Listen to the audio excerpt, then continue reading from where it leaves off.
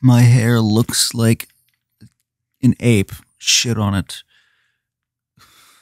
Good God.